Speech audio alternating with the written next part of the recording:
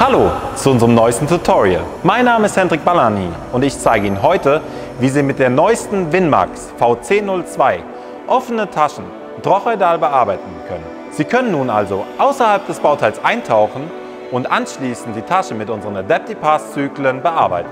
Wie Sie das programmieren können, zeige ich Ihnen wie immer direkt an der Konsole.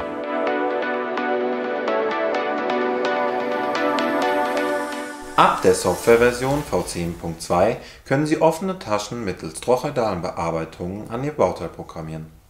Ein fertiges Bauteil sieht dann zum Beispiel so aus.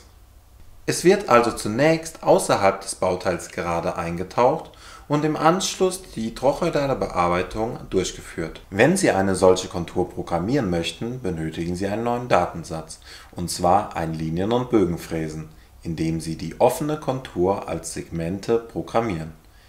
Wir starten etwas außerhalb des Bauteils in X und auf unserer fertigen Kontur in Y.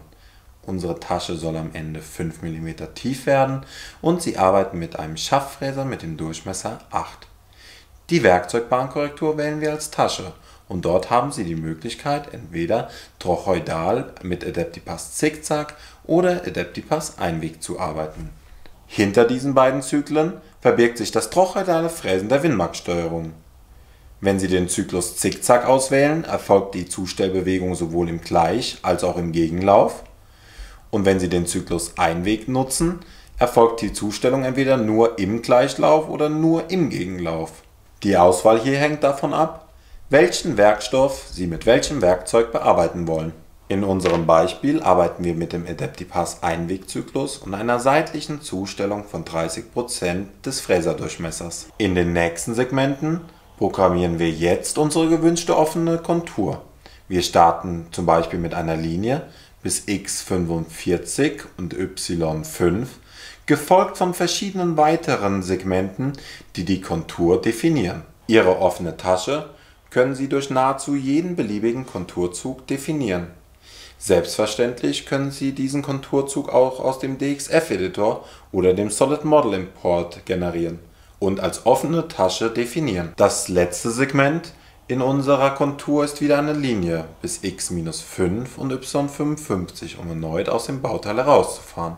Unsere programmierte Kontur sieht in der Simulation dann wie folgt aus. Wie Sie in der Grafik nun deutlich sehen können, haben wir sehr viele Rückzugsbewegungen, die durch die Steuerung gelb in der Grafik angezeigt werden dies kommt dadurch, dass in unserem Beispiel der Endpunkt der letzten Zustellbewegung sehr weit von dem Startpunkt der nächsten Zustellbewegung entfernt ist. Durch einen Programmparameter, den Sie über die Taste Eingang und den Softkey F4 unter der Registerkarte Fräsen 2 erreichen können, können Sie dieses Verhalten der Steuerung verändern, und zwar unter dem Adaptipath Verbindungslängenfaktor. Dieser Parameter definiert, ab welcher Länge die Steuerung eine Verbindungsbahn in eine Eilgangbewegung umwandeln soll. Multipliziert wird dieser Faktor mit dem Fräserdurchmesser.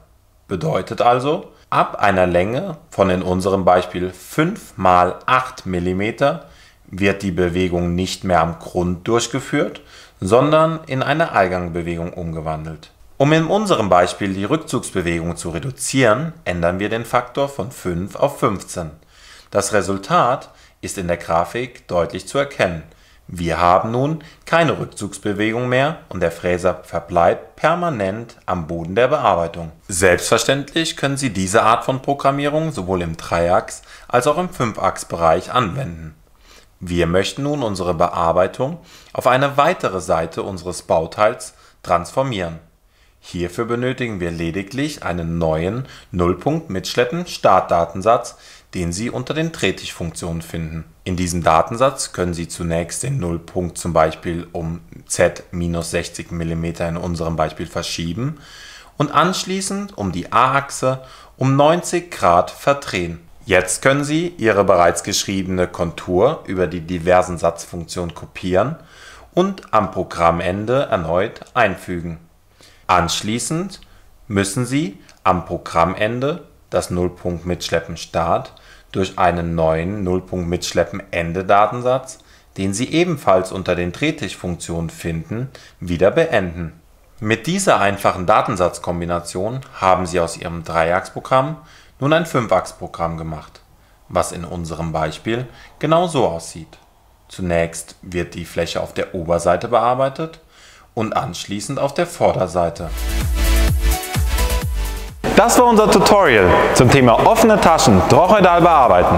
Schreiben Sie uns doch gerne einfach mal Ihre Erfahrungen mit diesem Feature in die Kommentare und liken Sie gerne auch das Video. Natürlich können Sie es auch gerne teilen. Wenn Sie in Zukunft kein Video mehr verpassen wollen, abonnieren Sie auf jeden Fall auch unseren YouTube-Channel. Seien Sie auch auf jeden Fall gespannt auf unsere nächsten Videos. Bis dahin möchte ich mich dann auch heute wieder verabschieden und verbleibe mit freundlichen Grüßen aus der AWT.